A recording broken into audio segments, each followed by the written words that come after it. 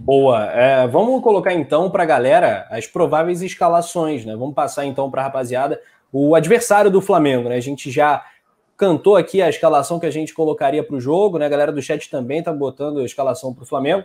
O Coritiba vem com o seguinte time provável, né? Coritiba treinado pelo Eduardo Barroca, aquele mesmo que era do Botafogo. Wilson no gol, Natanael, Rodolfo e Sabino. Uh, e o William Matheus. Nathan Silva, o Matheus Galdesani Rui. Robson, Igor Jesus e Sassá. Sassá, ex-cruzeiro também. Uh, nada demais, né, Túlio? Um time que nada. talvez esteja no mesmo nível daquele Atlético Goianiense, que tem um ou outro mais conhecidinho, mas limitadíssimo o time do Barroca. É, apesar de que o Barroca consegue, né, é, tem feito um bom trabalho, vamos dizer assim, né, ali, lá no, no Curitiba, mas, cara, assim, o único cara aí que eu acho que pode dar um trabalho pra gente é o Sassá, porque é um, é um jogador, é um bom jogador, é, inclusive já fez gols no, no, Flamengo, até pelo, pelo Cruzeiro também. E, e, cara, não tem como, não tem como pensar em perder. Né? Eu tô até com medo de falar aqui, porque eu falei no outro. Impossível a gente perder Não, não fala. Eu tô com medo. Mas assim, é, cara, como você falou, quem, não tem ninguém aí, cara. Assim, desculpa, mas. Cara, não dá para perder pra esse time. Na moral, não dá. Um monte de fogo. O jogo pode ser em Marte. O Gabigol. o Gabigol pode estar do tamanho com o corpo do Faustão. Entendeu? Eu, eu tô com medo, eu dou aqui minha. Pá, depois eu chegar lá. Mas eu tô confiante, eu tô confiante. É, corpo, do Faustão, corpo do Faustão em 1990, em 2000, né? É, é, isso, é Faustão antes daquela redução de redução de estômago. Exatamente.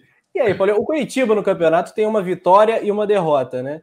Uh, será que o Curitiba vai ser mais um a aprontar para o Flamengo? Porque todo rubro-negro tá com medo, né? A gente não, o, o momento tá tão ruim que não dá para duvidar de nenhum resultado, né? É o famoso rindo de nervoso, é meu estado de espírito atual, porque eu tô aqui preocupadíssima da gente. Eu brinco que a gente é o, pré, é o pré-jogo mais pé quente da internet, mas tô até com medo de usar a minha, a minha frase, porque assim, tô extremamente preocupada pela fase é, ruim, digamos assim, né? Que a gente está passando, mas confiante, assim como o Túlio falou, nada demais, nada que assuste o Flamengo, mas no estado que tá, a gente não vai cravar nada. Não vou dizer impossível, mas improvável que o Curitiba consiga bater o Flamengo. Vamos tirar um pouquinho a força das palavras. E, pessoal, todo mundo amanhã, tiver a camisa da sorte, simpatia, enche o pé de meia, porque tudo que falar para mim que tá dando certo, eu vou fazer para ver se a zica vai embora. Pois é, só, só uma correção. Curitiba tem duas derrotas no Campeonato Brasileiro. Não é uma, não, não é uma vitória e uma derrota, são duas derrotas. Está aí na zona de rebaixamento, assim como o nosso Flamengo. Olha que drama, olha que coisa terrível. Perdeu para o Atlético Paranaense no último jogo que jogou no campeonato é, na final. E o, o Inter venceu na primeira rodada, 1x0 no Couto Pereira. E o Bahia venceu na Bahia por 1x0. Os dois jogos, duas derrotas por 1x0. É, o Curitiba que é candidatíssimo a rebaixamento, né? essa que é a realidade. Mas é aquilo. A galera comenta aqui no chat falando que o, o Janis, Janis Paulo dando boa noite, ele que é de Minas Gerais. Uh, o Simão Lopes tem que perder amanhã para o Coritiba para a gente se livrar logo daquele encosto espanhol. Oh, eita, meu Deus, ô Túlio, outro gente. dia falaram. Ô Paulinha, outro dia se referiram ao, ao Jesus como português retardado. E a gente falou assim: meu Deus, como assim? Calma, agora o encosto espanhol. A galera tá pegando pesado já com o Domi. Pegando pesado, e aí é quando a gente fala que é preciso ter calma com o treinador, a gente não está dizendo que não tenha que haver cobrança. São é. coisas diferentes. Temos que cobrar sim, porque é nosso papel mostrar até para ele que está chegando de fora que, peraí, não vai ter vida mansa aqui no Flamengo, não. Não vem com essa de querer ter muito tempo para esperar os resultados acontecerem. Mas não pode querer que com dois jogos chamar o cara de encosto. Não é que não possa, que a gente não possa cobrar, a gente pode e a gente deve, mas eu acho que principalmente cobrar dos jogadores. Não pode botar na culpa de um novo treinador que comandou duas partidas e dez dias de treino as duas derrotas. Contra o Atlético Mineiro, eu até tiro um pouco o peso, porque achei o primeiro tempo do Flamengo excelente Caímos um pouquinho de rendimento no segundo, mas o primeiro eu achei excelente, principalmente comparados com as finais do Carioca, né? E foi realmente um infortúnio aquele gol contra.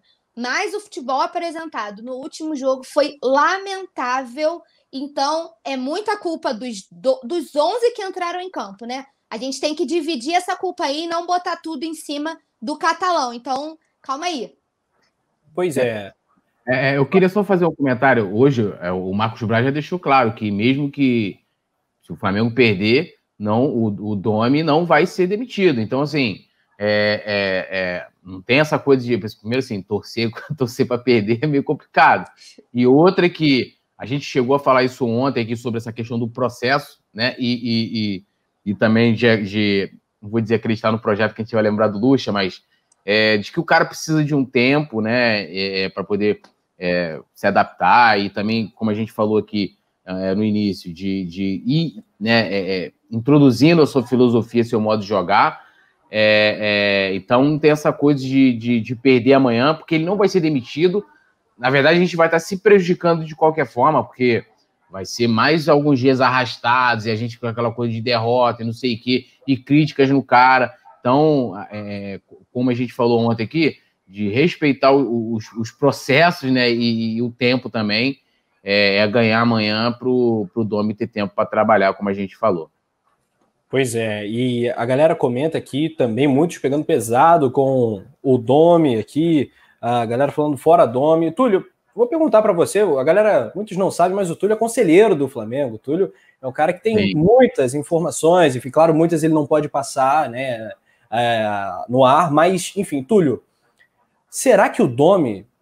É claro que a fala do Marcos Braz dá essa, é, essa resposta à pergunta mas existem derrotas e derrotas, situações e situações. Se o Flamengo tomou outra pancada amanhã na terceira rodada, olha, já deu até uma sensação ruim aqui só de falar. Eu, eu, eu vejo algum risco, cara, porque vai ficar muito difícil de administrar, cara. O clima do Flamengo vai ser um inferno, amigo. É, o, o Flamengo, assim como né, diversos clubes, tem a sua parte política que ferve, né? Então, e, e, ano que vem é como é ano de eleição, então os tabuleiros já começam né, a se movimentar.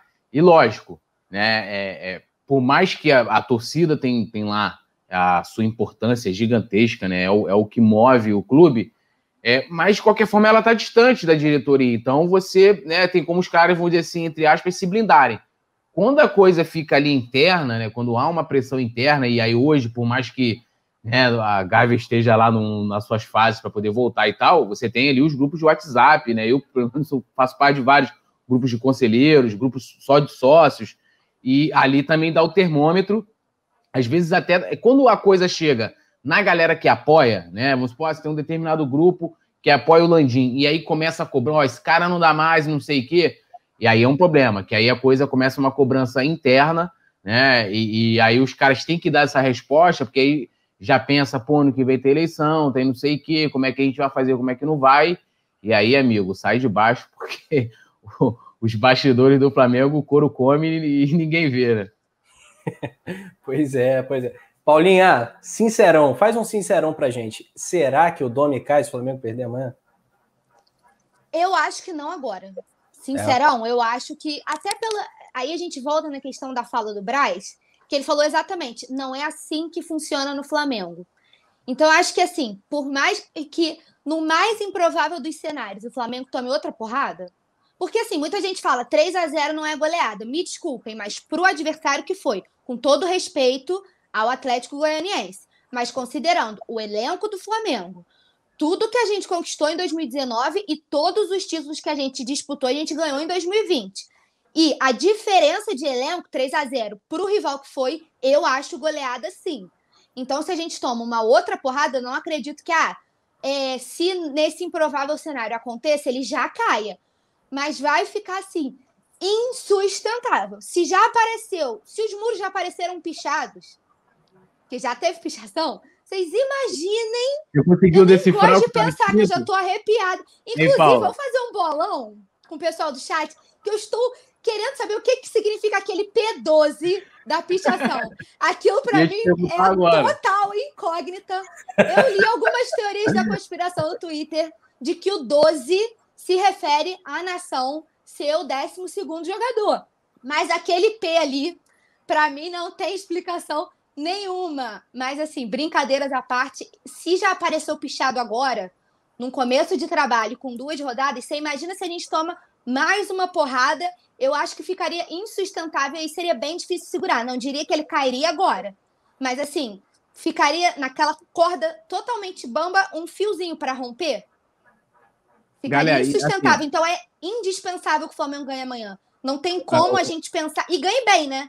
Não é ganhar de 1 a 0, não. É ganhar e ganhar bem, com futebol bonito, organizado, porque é isso que a torcida quer ver. Se você tiver um bom futebol, o, o resultado a gente constrói, né? É, é tudo é, um ciclo, né? Aqui, ó, o Tom, Tom Gutenberg falou que, ó, é, que o P12 era Paula 12, era a situação para você. De Paula, acabei de ver. é, é, uma coisa que a, a galera tá falando bastante do Abel aqui, é, cara, o Abel não foi demitido. O Abel pediu para sair. Pediu. E aí teve muro pichado, teve protesto, teve não sei o quê, e o Abel não iria sair se ele não pedisse demissão, né?